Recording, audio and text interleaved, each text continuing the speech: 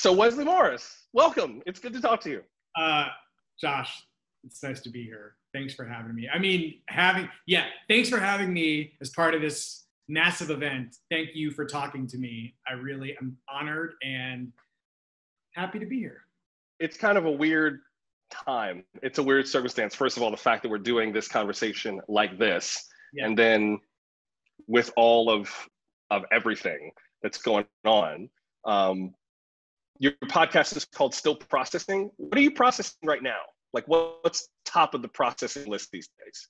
You know, I mean, all the sort of existential questions that that that that a question that you're asking would lead one to go to um, are things that I'm actually thinking about. But I mean, I, these are questions that I mean, the things that are happening right now in this country are the things that I, um, I'm always thinking about this stuff. You know, I've been thinking about this stuff since I was a teenager. you know, with respect to um, who we are as Black Americans, um, who we are as individual people in this larger system that you know we call America. Um, you know, what kind of human being do I want to be? What kind of human being do I expect other people to be in relation to me? Um, what am I afraid of, and when like why should people be afraid of me?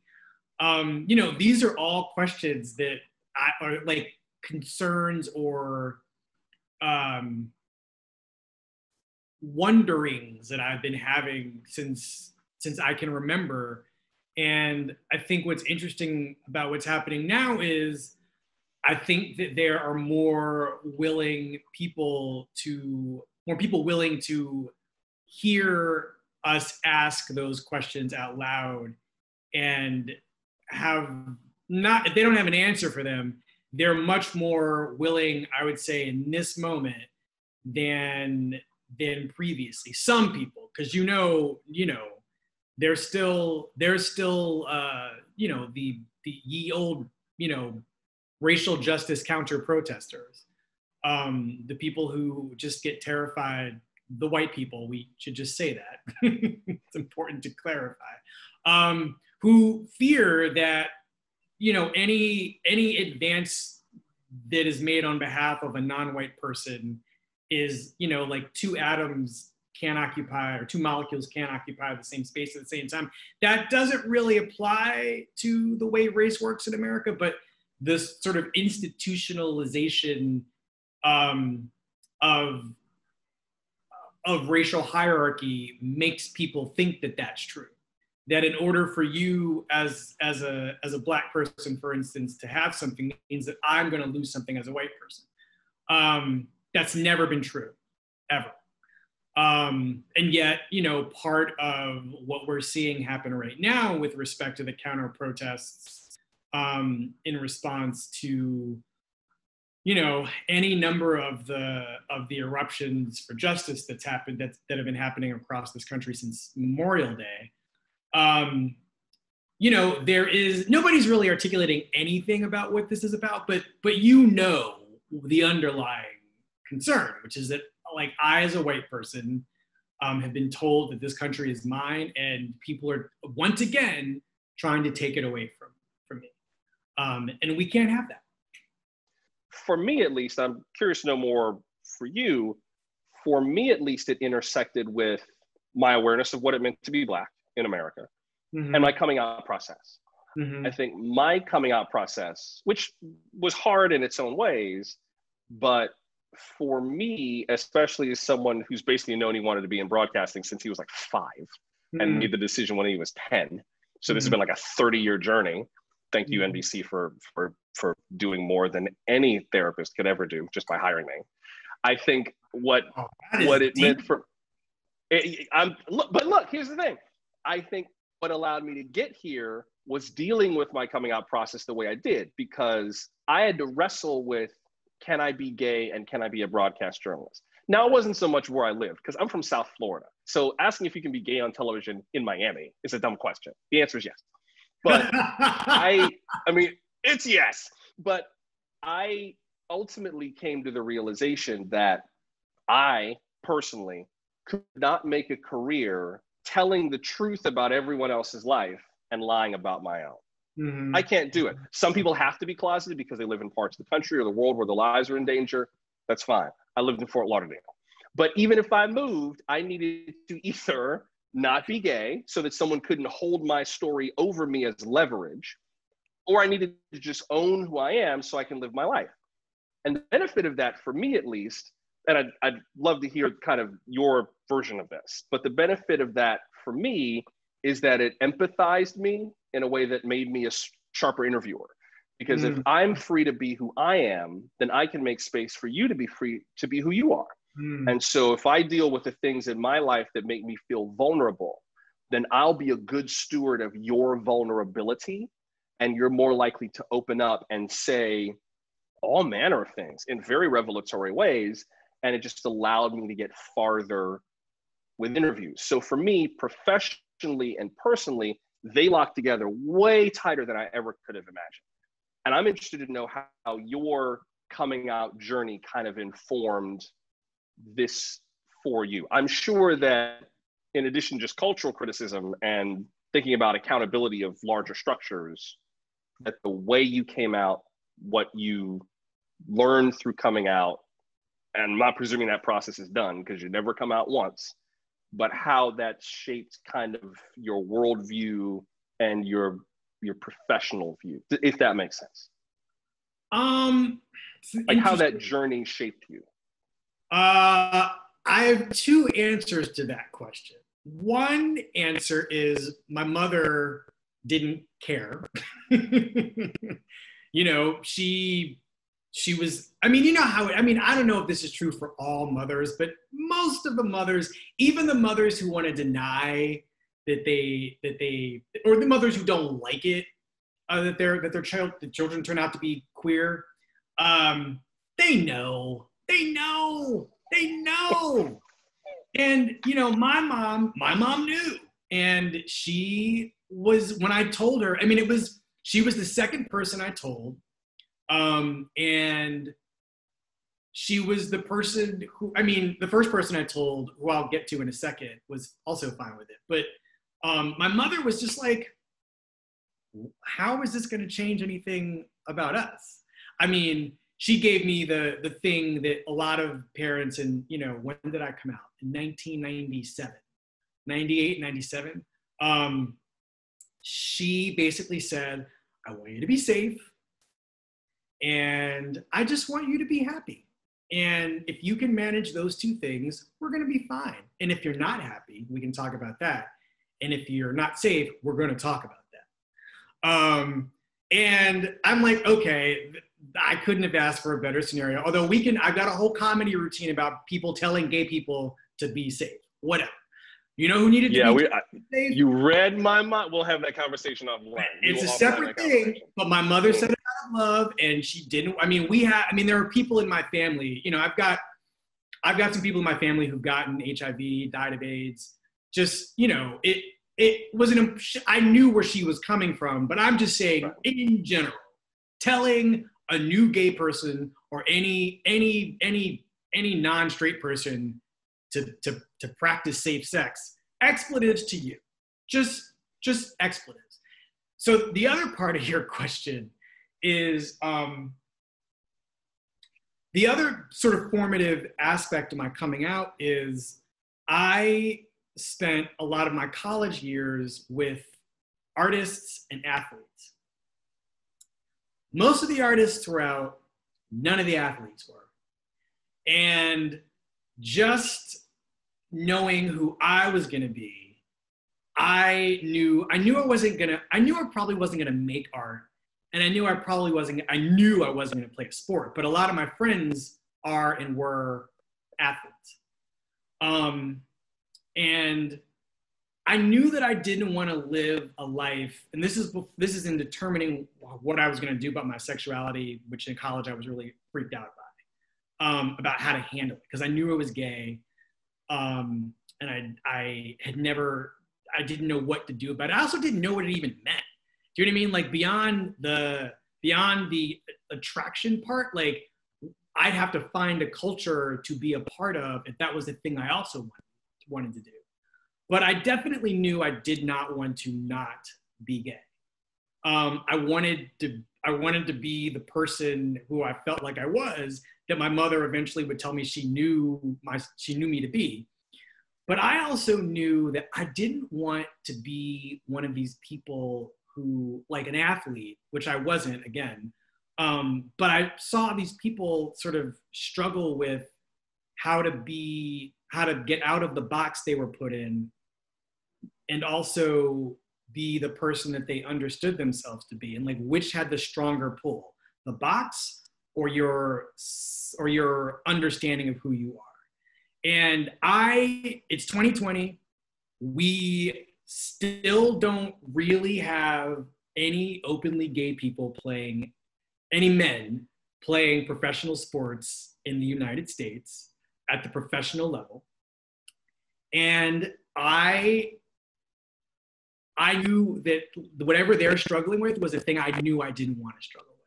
I wanted to have, struggle with all the other stuff that I'd be struggling with in my life, and like like getting getting the getting the declaration of my of my sexual orientation out of the way allowed me to understand you know myself as a as a I, I mean as a gay man on the one hand but also as a sexual person on the other hand.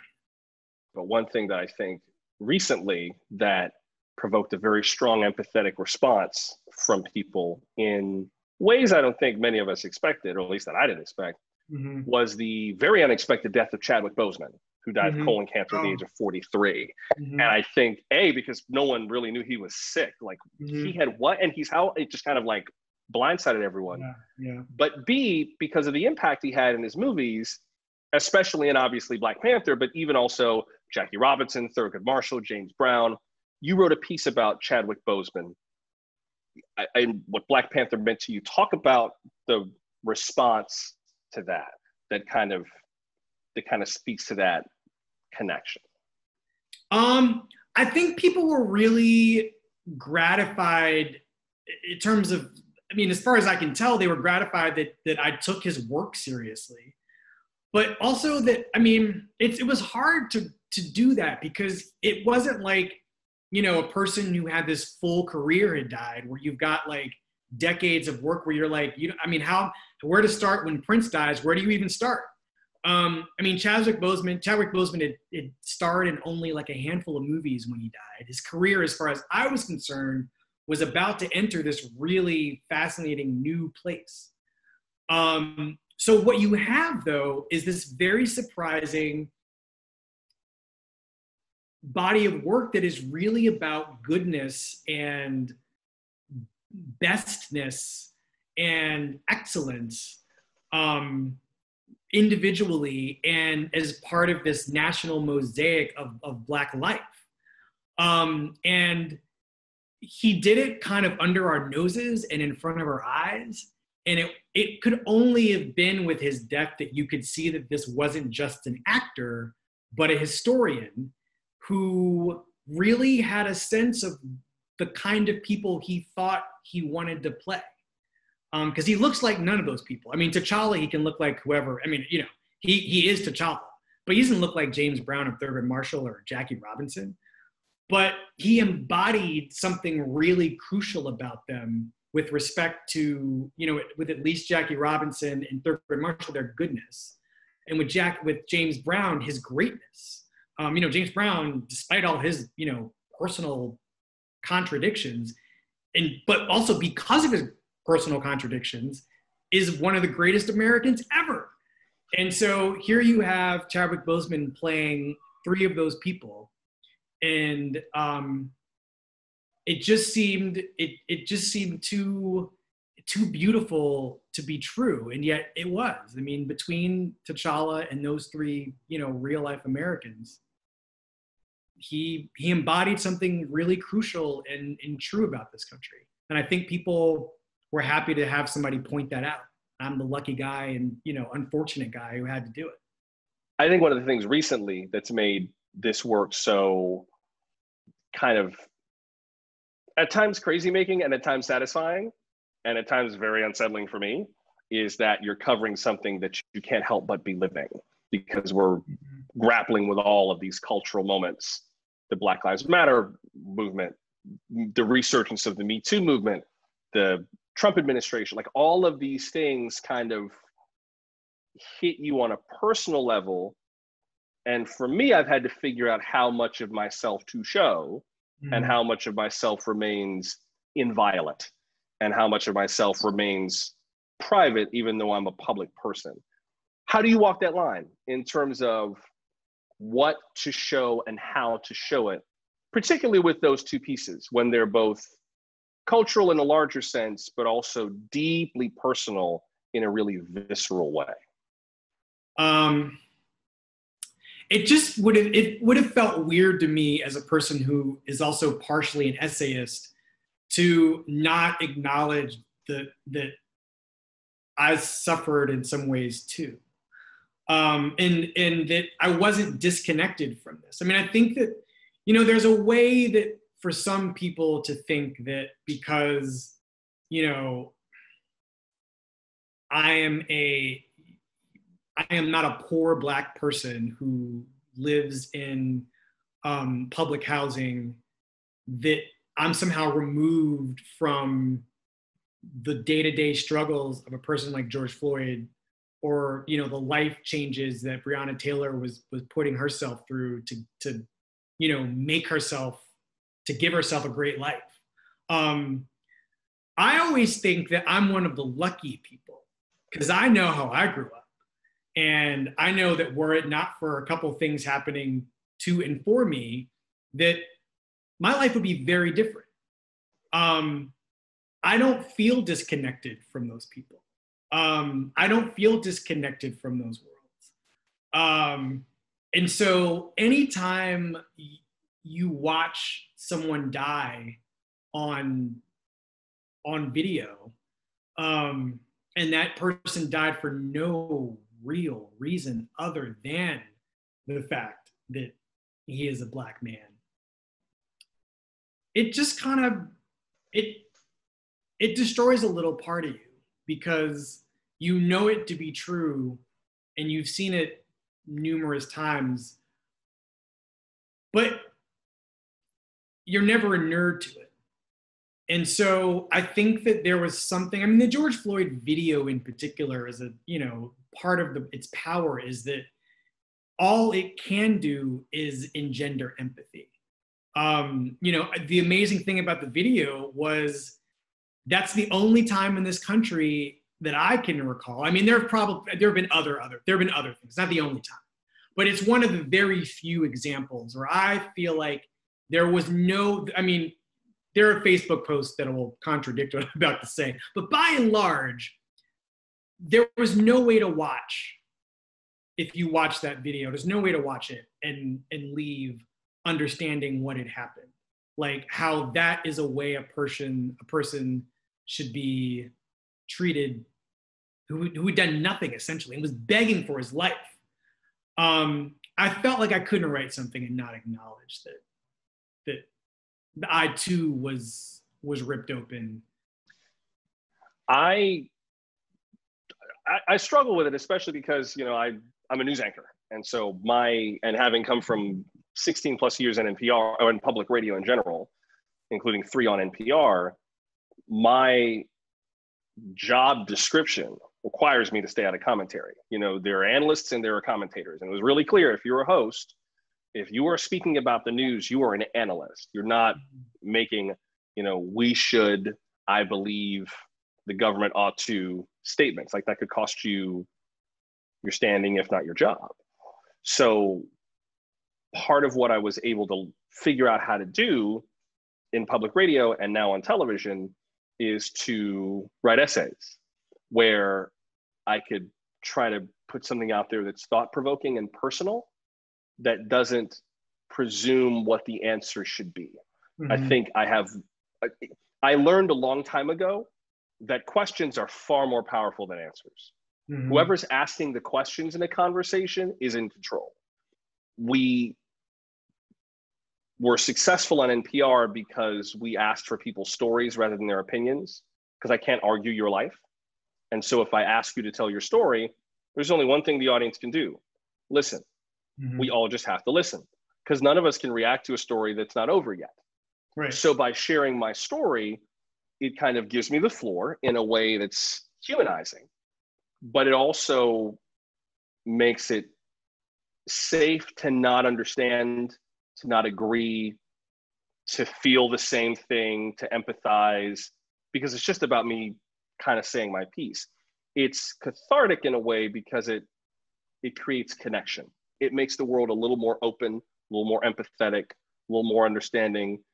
Not unanimous, because political debate is built into our democracy. We're supposed to argue, but at least it makes the arguments feel a little more, a little more worthwhile. I wonder also what you're seeing in terms of the way that the world is dealing with COVID 19 and the coronavirus pandemic. You know, we've got a lot of organizations represented in our audience who are kind of feeling it out as they go, just like everybody else. Mm. For me, it's been fascinating slash heartening slash terrifying to watch the way that the world has responded to all of this and how things have gotten better and things have gotten worse and things have done the right people have done the right thing and people have just done all the wrong things and and every permutation thereof and and not knowing which way is up at times. Probably not knowing which way is up most times at least in my case just because it's just there's no roadmap for this.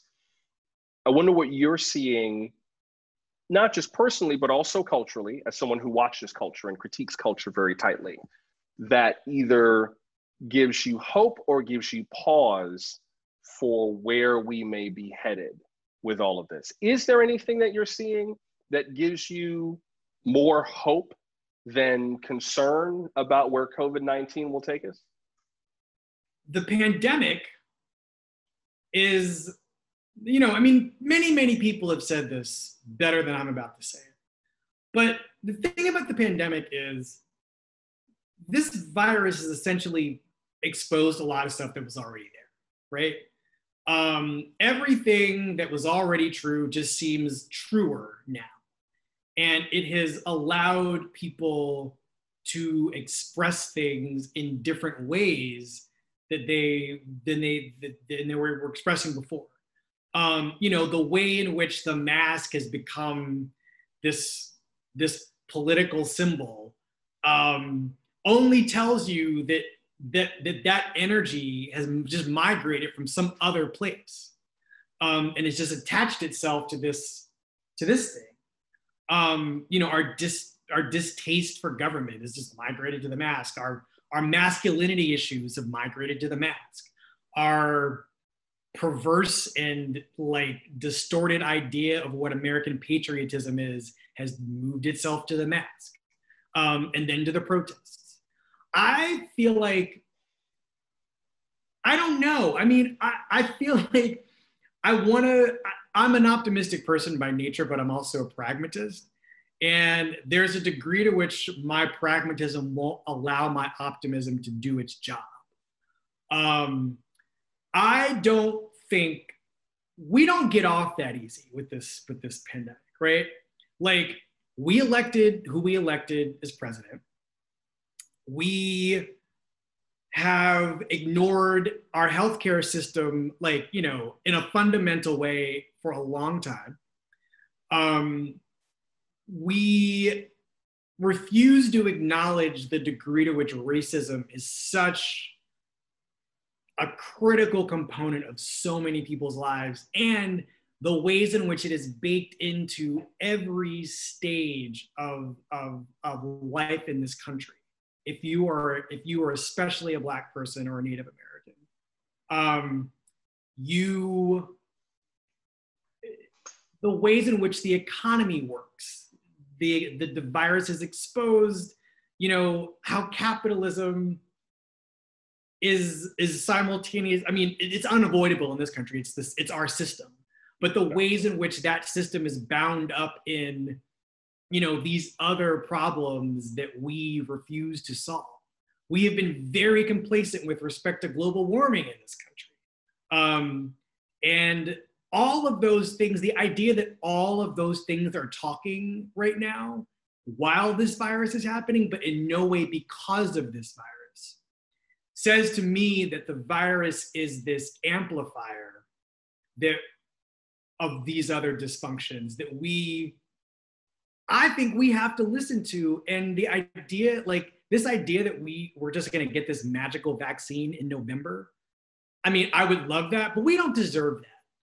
We deserve to actually fix our problems and not rush a vaccine before it's ready to make this stuff go away. I mean, there's no quick fix solution to any of these problems. And I feel like having a vaccine tomorrow that may or may not work, that what is it, what are the latest numbers? 30% of people won't take anyway because they don't trust that it that it's been through its proper vetting or that Donald Trump is responsible for it or they're just you know anti-vaxxers in the first place i feel like this virus is telling us all this shit that we have to listen to. And the if i'm hopeful about anything i mean in, in the degree to which my optimism wants to do its job it's to believe that when we come out on the other side of this enough of us will have learned all of the necessary lessons that that that would prevent something like this from happening as catastrophically in this country as it's happened. Wesley Morris, culture critic for the New York Times and co host of the podcast Still Processing with Jenna Wortham. Wesley, thank you for making time for us. Thank you for doing this with me. I, you're a wonderful conversation partner. I mean, I already knew that, but um, I've never gotten to talk to you for this long. So I am honored. Thanks for having me, by the way, everybody, and both of us.